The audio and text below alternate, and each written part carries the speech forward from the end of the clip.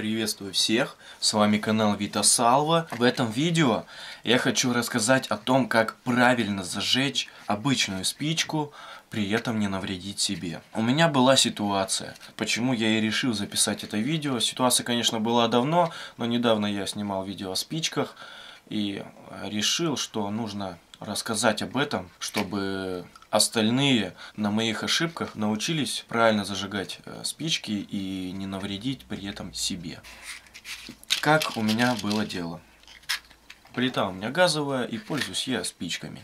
Как-то раз я беру спичку, да, зажечь газ и зажигаю спичку на себя чиркашем, вот как бы держа вверх, примерно в сторону лица. А, зажигаю спичку, как многие знают и понимают, что спички сейчас делают всякие разные, именно по качеству они гораздо хуже, чем были раньше. Даже не могу сказать примерное количество лет назад, но были они гораздо лучше, когда еще стоили копейки. Вот. И, значит, я зажег спичку таким образом, что а, спичка зажглась, при этом сера на спичке э, головка, она повредилась, разломалась, и все, что зажглось, она раскрошилась, и эта сера э, таким способом, что я зажег э, резко, да, сера горевшая отлетела мне в глаза. То есть она полетела мне в лицо и попала в глаз у меня, конечно же, сработала реакция, и века у меня закрылась. И мне повезло тем, что э, века, э, эта сера горящая, попала на века. Э, мне повезло, повезло очень хорошо.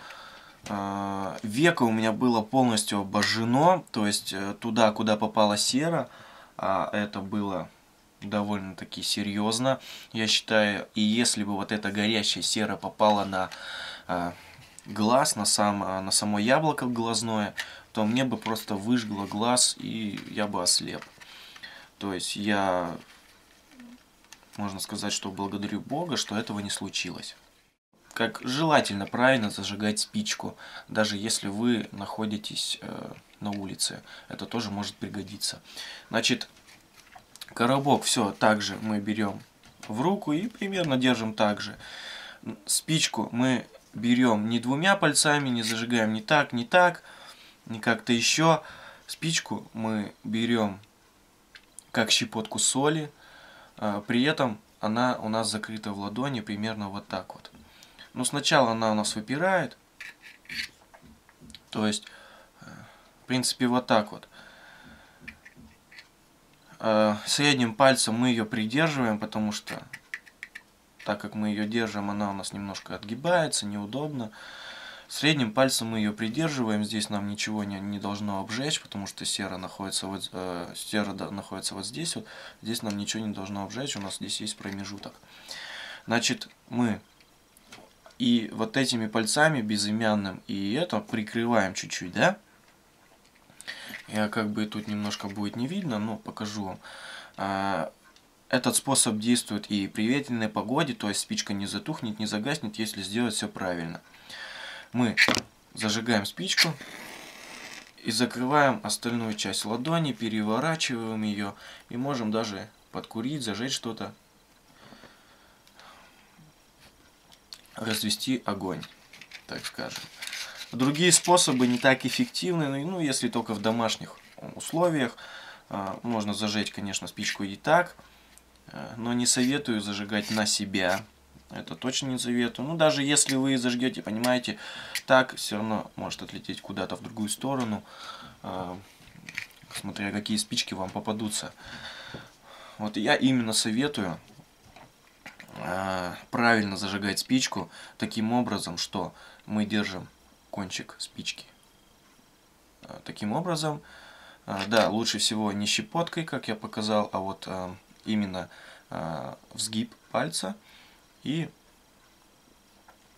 держать большим пальцем, также немножко придерживать средним пальцем, а этими пальцами просто закрываем. Дело в том, что если даже она рассыпется, то она никуда не улетит. Да, может быть, попадет на вот эти пальцы, но это, конечно же, все заживает, мы знаем, и это принесет, можно сказать, минимальный вред здоровью а, вам и окружающим, если вдруг э, что-то пойдет, что пойдет не так. Таким образом, мы зажигаем спичку, а, как бы получается, что вот так вот, и переворачиваем ее. Еще раз показываю. Сделано вот так вот. Да? Даже вот так вот. Я не знаю, как показать здесь это все. Ну, в общем, а, от лица вы, э, вас защищают вот руки, пальцы. И когда она зажглась, мы ее переворачиваем и делаем вот такой вот цветочек. И ветру даже на ветру такая спичка в таком защитной оболочке, можно так сказать, да, а, она не потухнет, если все сделано правильно. Спасибо за внимание. Это было довольно-таки долгое видео о том, как зажечь правильно спичку. Но все равно я рассказал, э, как правильно это сделать, как лучше сделать. Конечно, вы зажигаете как хотите. Но дело в том, что если зажечь не так, как я вам показал, может э, сказаться на вашем здоровье. Или если кто-то поблизости находится, то может пострадать. Если вам понравилось, ставьте лайки, подписывайтесь на канал. Увидимся, до новых встреч.